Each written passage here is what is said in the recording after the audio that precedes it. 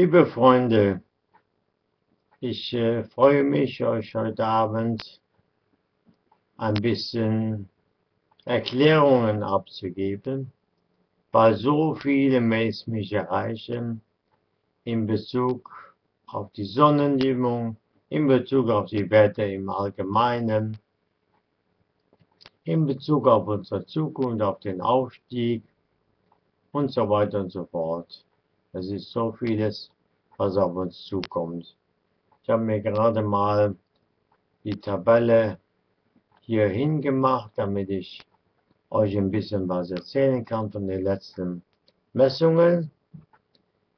Also heute war es ganz heftig. Ähm, wir gehen dann mal davon aus, dass wir von einem Standardwert von 167 auf 633 gestiegen sind. Das sind immerhin 397 Prozent. Was ganz interessant ist äh, bei dieser Wertesteigerung, wie sie im Moment wieder ist, erinnert mich ein bisschen an das Jahr äh, 2000, glaube ich, war das. Äh, ja, war letztes Jahr um dieselbe Zeit. Äh, was mich da ein bisschen wundert, das sind dann die Wertesteigerungen vom 1.6. Äh, an bis heute. Da waren dann als Beispiel 18.200.000.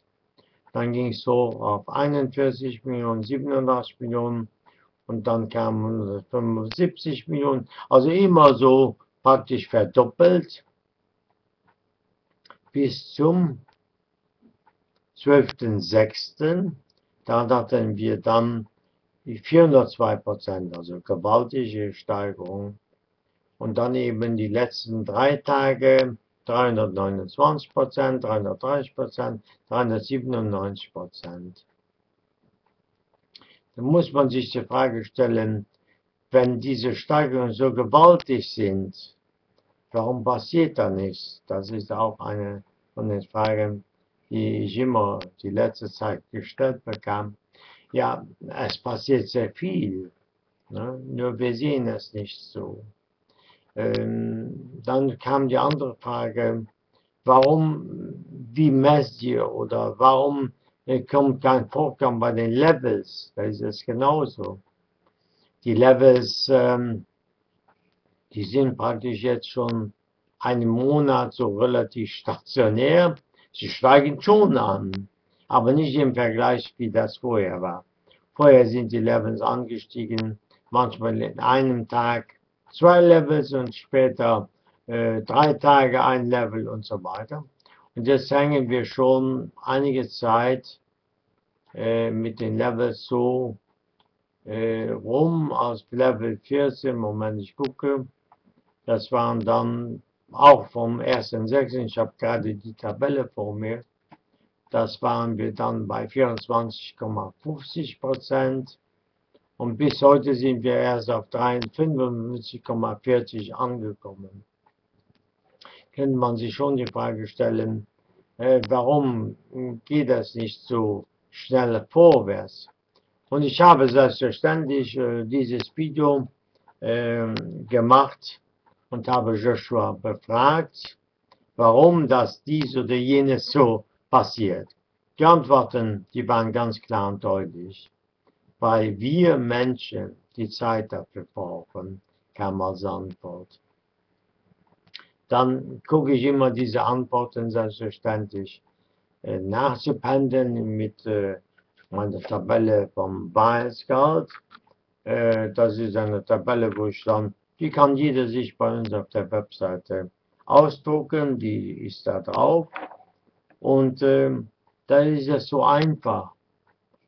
Da könnt ihr erkennen, wie wahr etwas ist, wenn ihr nicht auf euer Bauchgefühl gehen könnt. Und ich pende das dann immer damit aus.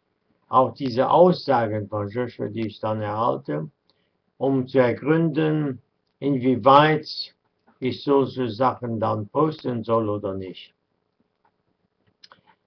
Äh, es könnte ja sein, dass unter 70 Prozent sind, dann sage ich immer, das genügt mir nicht.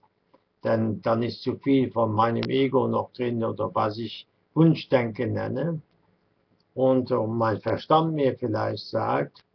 Und äh, wenn ich aber über 100% Wahrheitsgehalt bin, dann bin ich zufrieden, dann kann ich das bedenkenlos posten.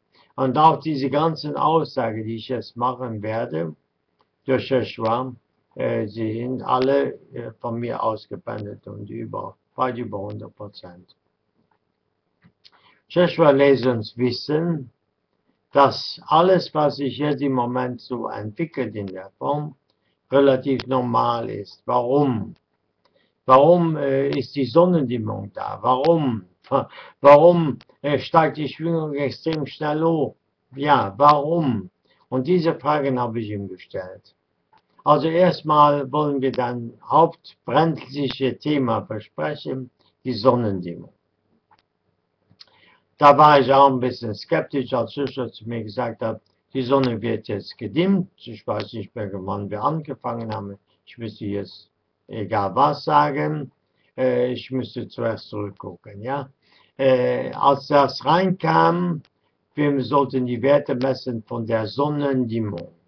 Okay, habe ich das gemessen. Die Sonne wird von der geistigen Welt so viel gedimmt. Dann wird die Sonne gedimmt von, der, von unserem Umfeld, das heißt von uns Menschen, durch äh, Schmutz, äh, den wir in die Natur entlassen, wie die Chemtrails, äh, die bewusst ja hergestellt werden. Sie wird aber auch äh, durch natürliche Umstände äh, beschmutzt, die diese ähm, Luft- oder Stratosphäre, äh, die das dann speichert. Das sind dann zum Beispiel bei den vielen Vulkanausbrüchen sind es dann Ascheburgen, die hochsteigen, die aber dann langsam wieder runterkommen. Und so haben wir ganz einfach diese Variationen bei den Tabellen, die die Sonnendimmung angibt. Man sieht da, manchmal sind dann auf zwei, drei Tage ein paar äh, halbe Grad oder Prozent Unterschied, aber das ist alles natürlich. Und die, die Dimmung von der geistigen Welt, die steigt permanent hoch. Das heißt, wir werden immer mehr runtergedimmt. Was wird jetzt gedimmt?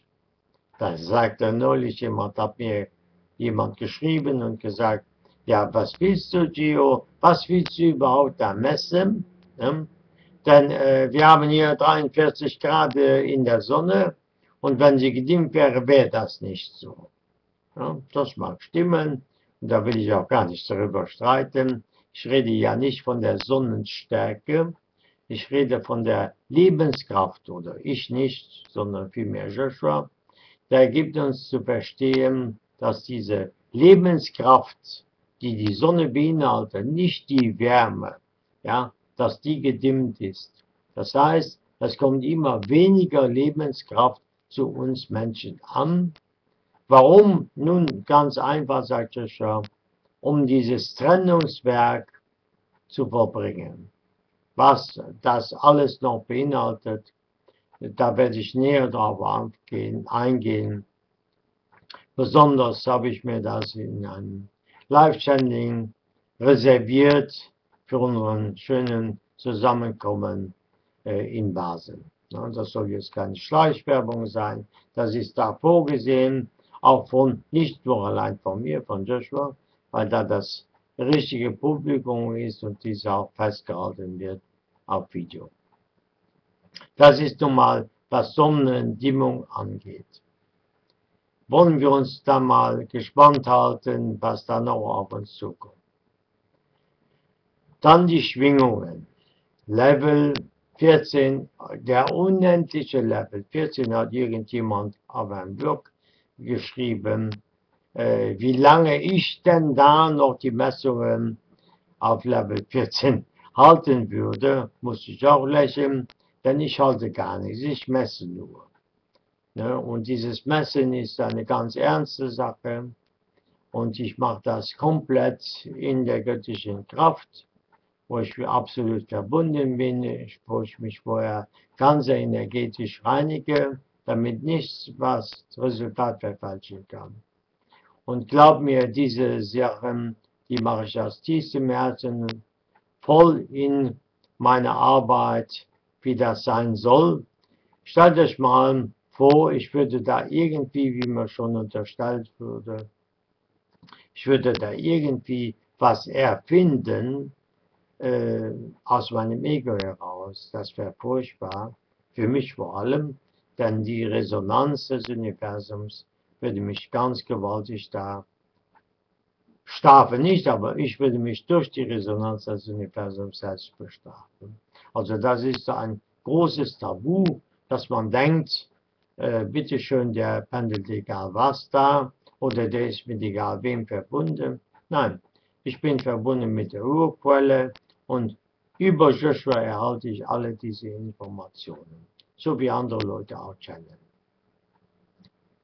Dann kommt der Gedanke, die ich Joshua gefragt habe, warum sind die Werte so extrem angestiegen, gerade diesen Monat? Nun, die geistige Welt antwortet er mir, die will ganz einfach, dass wir vorankommen, dass wir in unsere Schöpferkraft kommen. Und es sind so viele erwarte Menschen da, aber die machen keine Fortschritte in dem Sinne, wie wir Veränderung wünschen. Wir wünschen uns alle Veränderung, wollen aber nicht unbedingt was dafür tun. Wir bleiben in unserem Leben ziemlich stationär in diesen Dimensionen, wo wir uns jetzt befinden. Denn man sollte eins bedenken, wie Joshua das so wunderbar beschreibt. Er sagt Folgendes. Er sagt, wenn wir jetzt mal an die Ernährung denken, mein Lieblingsthema, ich bin persönlich auf Lichtnahrung. So, was heißt Lichtnahrung? Lichtnahrung heißt einfach, dass ich mich von dieser göttlichen Energie ernähre und meinen ganzen Körper damit auffülle. Es heißt aber auch, dass ich irgendeine Lebensmittel angucken kann. Ich rede jetzt von Pflanzen und solchen Sachen. Und mir diese Energie, so wie die Naturwesen, kann ich mir diese Energie in mich hineinziehen und so in diesen vollen Genuss von dieser äh, Ware oder Lebensware, äh, diese Energie kann ich in mich aufnehmen. Wie man das macht, kann ich euch alle gerne mal äh, privat erklären oder in Vorträgen, wenn ihr das wollt. Ihr braucht euch nur zusammenzusetzen, dass ihr äh, eine Gruppe zusammenbekommt wo wir dann solche Vorträge machen können. Ich habe einige dieser Vorträge schon gemacht, in relativ klein, kleinem Kreis. Aber in Basel wird auch so ein Vortrag dabei sein, wo wir ganz genau erklären, warum das da so vor sich geht. Joshua möchte oder die geistige Welt möchte, dass wir hingehen und in unsere Schöpferkraft kommen. Was wiederum bedeutet, wenn wir zur Schöpferkraft kommen, dass wir nicht immer wieder die Verantwortung abgeben an andere, sondern selbst was bewirken. Und dieses Selbstbewirken, da fängt in uns selbst an, in die Liebe kommen, in die Liebe kommen zu unserem Körper. Und glaub mir eines, solange wir uns am Töten von anderen Lebewesen beteiligen, solange können wir nicht in die Liebe kommen. Das sind ganz interessante Themen, die wir gerne mit euch besprechen werden, wenn ihr dies denn wollt. Jeder ist frei, zu denken, wie er will, zu fühlen, wie er will. Aber jeder ist auch frei zu erschaffen, was er will. Und die geistige Welt lässt uns zum Beispiel diesen Level 14 unendlich ausdehnen. Denn wir gehen immer nur vorwärts, ja, aber in ganz kleinen Schritten. Dann habe ich auch hier schon dazu gefragt, warum ist das denn so? Ich habe es vorhin schon gesagt, weil wir diese Zeit noch brauchen, um endlich in die richtige Funktion zu kommen. Was heißt das jetzt schon wieder? Ganz einfach erklärt. Wir brauchen eine zum Ausstieg oder sogenannte Ausstieg, brauchen wir eine DNA Strukturveränderung. Die DNA soll sich komplett verändern. damit wir feinstofflich werden. Diese Veränderung kann aber nur stattfinden, wenn wir nicht mehr feststofflich Nahrung zu uns nehmen. Das ist ganz einfach im göttlichen Bereich. Jeder sollte sich mal seine Gedanken darüber machen, was das für uns dann bedeutet. Ja? Ähm, ich habe da mit einem Freund heute Morgen geredet, unser lieber Merlin. Wir tauschen uns jeden Tag aus über diese Dinge. Und dann habe ich ihm das erklärt, was Joshua mir erklärt hat. Joshua sagte zu mir, guck mal, ihr sollt nichts tierisches essen, wenn ihr es jetzt aus falschen Beweggründen heraus macht. Dass ihr nicht in der Liebe seid, und ihr macht das vom Verstand her. Dann stell dir folgende Situation vor. Du lebst in einem Paradies, auf einer herrlichen kleinen Insel. Und auf dieser kleinen herrlichen Insel lebst du mit deiner Partnerin und du hast alles, was begehrt, dein Herz begehrt.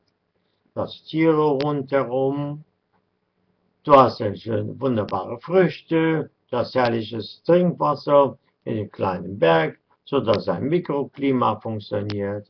Du hast Regen, Frischwasser, du hast Salzwasser, du hast alles. Du hast Fische im Meer, das alles, was vielleicht sogar Fische im Süßwasser. So, in diesem Paradies kannst du jetzt leben. Das ist gar nicht so einfach. Denn du hast immer noch die Erinnerung an dein altes Leben. Du hast Gaumenfreuden von deinem alten Leben. Du hast diese Erinnerungen in deinem Unterbewusstsein gespeichert. Und dieses Unterbewusstsein führt dich dann über kurz oder lang wieder dazu verführen, dass du sagst, oh, da sind schöne Enten, die legen mir jetzt ein paar Eier, da kann ich mir mal, ja, mal wieder ein Ei kochen und ein Ei essen.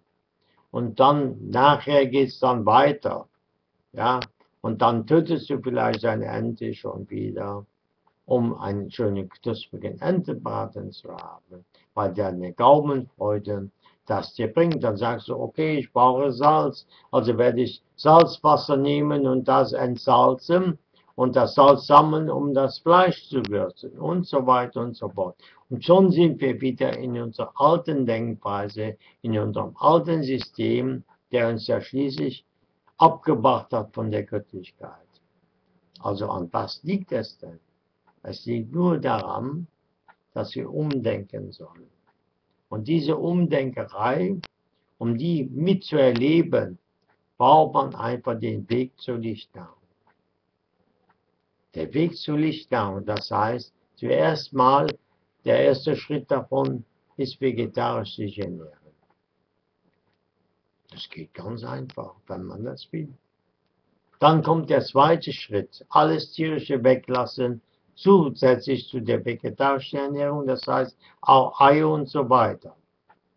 Dann kommt man vegane Ernährung, wo man dann alle tierischen Produkte komplett weglässt, auch Milcherzeugnisse und so weiter.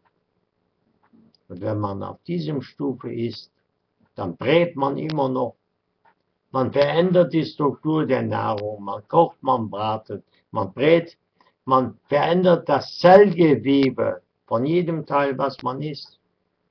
Und dann wundern wir uns, wenn wir das machen, dass unsere Zellen genauso reagieren. Das ist doch ganz klar, die ganzen Zellinformationen, die von dem Nahrung, die wir zu uns nehmen, verändert wurden durch uns, die kommen in unseren Körper hinein. Und welche Informationen geben ja an unsere Zellen ab? Veränderung, regelrechte Veränderung der Strukturen, der Genstrukturen. Das ist Braten, das ist Kochen. Und wenn wir den Ballast dann mal hinter uns haben, dann sagen wir, okay, ich habe es verstanden. Ich kann nur Zellveränderung bei mir feststellen, also lasse ich das jetzt und ernähre mich rein von Rohkost. Und diese Rohkost, das ist auch gut da ist auch darin manches, manches an, an, an ähm, Schadstoffen drin, wo wir nicht steuern können. Und dann kommen wir selbstverständlich zur energetischen Reinigung, die jeder von uns lernen sollte. Wenn wir das nämlich machen bei uns und bei unserer Nahrung, die wir uns zuführen, dann werden wir noch feinstofflicher werden.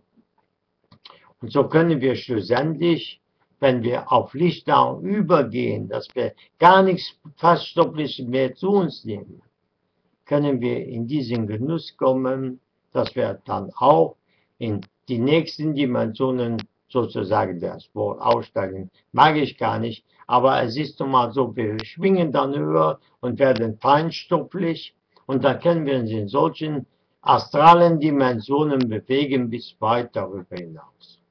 Das ist das Wunderbare, was man dann bewerkstelligen kann. Nur, wer macht das? Wer kann das machen? Wir selbst. Wir selbst sind unsere Schöpfer und wir selbst bestimmen, was abgeht bei uns, niemand anders. Und das sollte uns bewusst werden, dass wir unsere eigenen Schöpfer sind. Wer hat Gandhi gesagt, was du dir wünschst, dass sich auf dieser Welt verändert, das verändert du selbst in dir oder ähnlich. Aber der wichtige Punkt ist der, dass wir selbst diejenigen sind, die das verändern müssen und nicht die Verantwortung wie immer wieder abschieben an andere. Das waren ein paar kurze Erklärungen über unsere Messwerte. Es waren ein paar kurze Erklärungen über die Sonnendimmung, die immer weitergeht. Und es waren ein paar kurze Erklärungen über die Lichtnahrung. Ich hoffe, es hat euch ein bisschen zum Nachdenken angeregt. Wenn ihr zusätzliche Fragen habt, besucht uns einfach entweder hier in Waldshut oder im nächsten Punkt in Basel. Wir werden auch einen Workshop über diese Reinigung machen, jetzt in der Kürze, und zwar in, ähm, äh, bei äh, Wolfsburg, da oben im Norden, wo wir mal das erste Mal sind. Auch da seid ihr alle recht herzlich willkommen, diese Reinigungsmethoden zu lernen. Wir würden uns auf jeden Fall freuen, wenn ihr euch meldet für alle Themen, die euch beschäftigen und dass ihr dann uns Fragen stellt, uns löchert mit Fragen, sodass wir wirklich euch in die beantworten können, was die Zukunft uns bringen wird. In diesem Sinne sage ich einen guten Abend an alle.